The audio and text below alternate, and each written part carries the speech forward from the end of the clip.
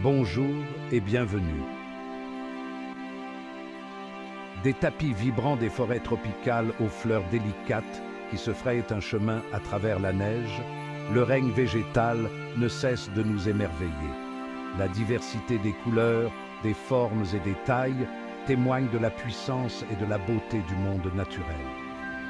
Aujourd'hui, nous embarquons pour un voyage à la découverte de cette beauté, en explorant certaines des plantes les plus visuellement étonnantes que notre planète a à offrir. Il ne s'agit pas seulement d'éclats de couleurs ou de formes curieuses, mais de merveilles de l'évolution, chacune étant adaptée pour prospérer à sa manière. Rejoignez-moi pour un compte à rebours des dix plantes les plus belles du monde, une célébration de l'art de la nature et un rappel de la préciosité de la vie qui nous entoure. Notre voyage commence au Japon, où le printemps apporte un spectacle époustouflant, la floraison des cerisiers, ou sakura. Ces fleurs délicates, d'un rose pâle, transforment le paysage en une mer de tons doux, leur beauté rappelant de manière poignante la nature éphémère de la vie elle-même. Pendant des siècles, les Japonais ont célébré cette beauté éphémère avec Hanami, la tradition du pique-nique sous les arbres en fleurs, appréciant les fleurs délicates et réfléchissant au cycle de la vie.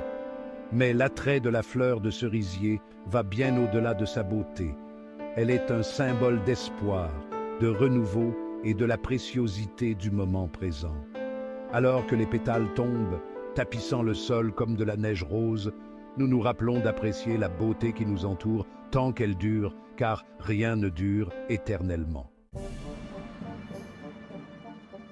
De la délicate fleur de cerisier, nous voyageons vers les tropiques où vivent les magnifiques orchidées. Avec plus de 25 000 espèces, les orchidées sont un témoignage de la créativité de la nature, chaque fleur étant une œuvre d'art. Des motifs complexes de leurs pétales aux formes étranges qu'elles prennent, les orchidées ont évolué pour attirer des pollinisateurs spécifiques, leur beauté servant un objectif vital. Certaines orchidées ressemblent à des insectes, attirant les pollinisateurs peu méfiants, tandis que d'autres libèrent des parfums enivrants qui embaument l'air.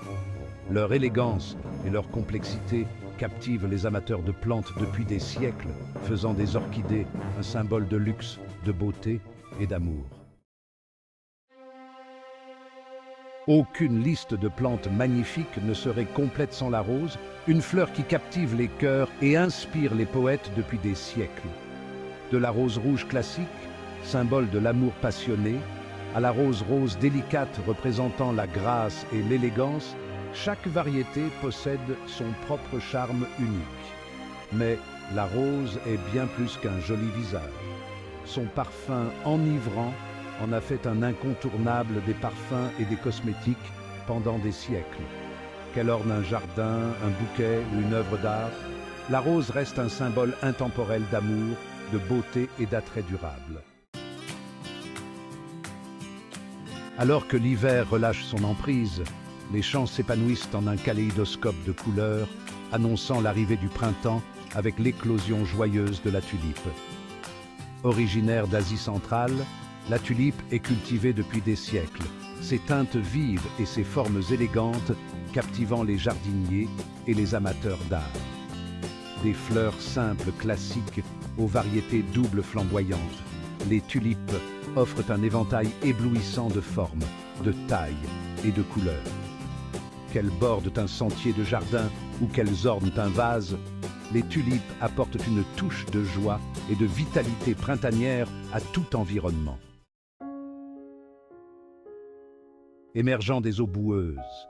La fleur de lotus incarne la pureté, la résilience et l'illumination spirituelle. Dans de nombreuses cultures, le lotus est vénéré comme un symbole sacré, représentant le voyage des ténèbres vers la lumière, de l'ignorance vers la connaissance. Ces grandes fleurs élégantes s'ouvrent au lever du soleil et se referment à la tombée de la nuit, symbolisant le cycle de la vie, de la mort et de la renaissance. Le lotus nous rappelle que même face à l'adversité, la beauté peut émerger et qu'en chacun de nous réside le potentiel de croissance et d'illumination. Transportez-vous dans les forêts tropicales humides d'Afrique du Sud, où prospère une plante d'une beauté incomparable, l'oiseau de paradis. Ses fleurs éclatantes, orange et bleues, ressemblent à la tête et au bec d'une grue en vol, d'où son nom évocateur. Ces fleurs saisissantes attirent les oiseaux pollinisateurs, leur bec pointu étant parfaitement conçu pour accéder au nectar caché à l'intérieur. L'oiseau de paradis témoigne de la puissance de la coévolution, sa beauté étant le fruit d'une danse délicate entre la plante et le pollinisateur. Cœur de Marie, une danse délicate de fleurs en forme de cœur. À l'ombre fraîche des jardins boisés, une plante d'une beauté délicate suspend ses fleurs en forme de cœur, le cœur de Marie. Ses tiges arquées portent des rangées de ses fleurs pendantes, chacune d'elles étant un petit chef-d'œuvre de l'art de la nature. Les délicats pétales roses et blancs, souvent dotés d'un pétale intérieur saillant, ressemblant à une goutte de sang, donnent à la plante son nom évocateur. La beauté éphémère du cœur de Marie, qui ne fleurit que peu de temps au printemps, nous rappelle de chérir les moments de merveille fugaces de notre vie. Protéa, le roi et la reine du Finbos. Du délicat cœur de Marie, nous voyageons vers les pentes ensoleillées du royaume floral, du Cap en Afrique du Sud, qui abrite la majestueuse Protéa. Ces merveilles architecturales, avec leurs grandes fleurs en forme d'artichaut et leurs pétales hérissés, témoignent de la diversité et de la résilience de la nature. Les protéas se sont adaptés pour survivre dans des conditions difficiles. Leurs feuilles coriaces et leurs graines résistantes au feu, leur permettant de prospérer dans les régions sujettes aux incendies. Leur beauté unique et leur résilience en ont fait un symbole de force, de diversité et de l'esprit durable de la nature. Passiflore, un chef-d'œuvre complexe de l'évolution. Notre voyage nous mène ensuite en Amérique tropicale, où s'épanouit une fleur d'une beauté complexe, la passiflore. Sa structure complexe, avec sa couronne de filaments colorés, ses styles et stigmates proéminents et sa symétrie en cinq parties, fascine les botanistes et les amateurs de plantes depuis des siècles. La conception complexe de la passiflore n'est pas seulement esthétique, elle joue un rôle vital en attirant des pollinisateurs spécifiques, assurant ainsi la survie de la plante. Sa beauté, qui témoigne de la puissance de la sélection naturelle, nous rappelle que même les formes les plus complexes de la nature ont un but. Jacinthe des bois, un tapis bleu dans les bois. Notre voyage s'achève dans les bois paisibles d'Europe, où un tapis bleu annonce l'arrivée du printemps, la jacinthe des bois. Ces fleurs délicates en forme de cloche transforment le sol de la forêt en une mer bleue, leur doux parfum emplissant l'air. Les jacinthes des bois sont un élément essentiel de l'écosystème forestier, fournissant une source précoce de nectar aux abeilles et autres pollinisateurs. Leur beauté éphémère, un spectacle fugace avant que les arbres ne se couvrent de feuilles, nous rappelle qu'il faut apprécier le délicat équilibre de la nature et l'importance de préserver ses habitats précieux. Au revoir, mais pas adieu.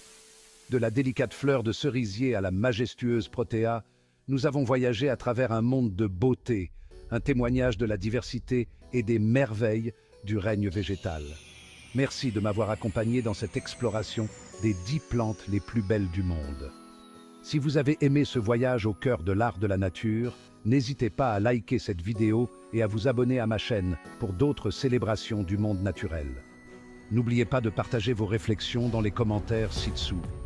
Quelles sont vos plantes préférées et pourquoi vous touchent-elles? Poursuivons la conversation et apprécions la beauté qui nous entoure. Mais attendez, notre voyage ne s'arrête pas là. Après avoir admiré les beautés plus classiques, partons à la découverte de quelques-unes des plantes les plus insolites et fascinantes que la nature puisse nous offrir. Commençons par le Victoria amazonica, également connu sous le nom de nénuphar géant. Avec ses feuilles pouvant atteindre 3 mètres de diamètre, cette merveille aquatique peut supporter le poids d'un petit enfant. Ces grandes fleurs parfumées éclosent la nuit, passant du blanc au rose à l'aube. Ensuite, nous rencontrons la Rafflesia arnoldi, la plus grande fleur du monde. Connue sous le nom de fleur cadavre en raison de son odeur âcre, elle peut atteindre jusqu'à un mètre de diamètre. Malgré son odeur, c'est un spectacle étonnant, avec ses pétales massifs et charnus et son apparence unique. Puis, nous avons l'Amorphophallus titanum, un autre géant connu pour son odeur. Communément appelé l'arum titan ou fleur cadavre, il produit l'une des plus grandes inflorescences du règne végétal. Sa structure imposante et frappante et son cycle de floraison rare en font un véritable spectacle botanique. Enfin, plongeons sous terre avec l'Idnora africana, une plante parasite originaire d'Afrique australe. Ressemblant à une créature tout droit sortie d'un film de science-fiction, elle est dépourvue de chlorophylle et dépend de son hôte pour se nourrir. Sa structure tubulaire charnue et son aspect saisissant en font une véritable curiosité. Ces plantes ne correspondent peut-être pas aux critères de beauté traditionnels, mais elles nous rappellent l'incroyable diversité et la capacité d'adaptation du règne végétal. Merci de m'avoir accompagné dans ce voyage extraordinaire. Si vous avez apprécié cette exploration, n'oubliez pas d'aimer cette vidéo et de vous abonner pour découvrir d'autres merveilles botaniques. Partagez vos impressions et dites-moi laquelle de ces plantes insolites vous fascine le plus? Et pourquoi. Continuons à apprécier ensemble les merveilles infinies de la nature.